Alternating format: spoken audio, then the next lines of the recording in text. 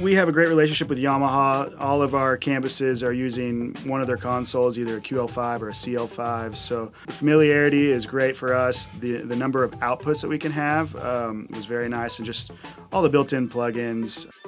Everything that Yamaha brings is, is great that level of familiarity knowing the product and just you know really being able to dig into their their flagship model is is you know was an easy choice for us.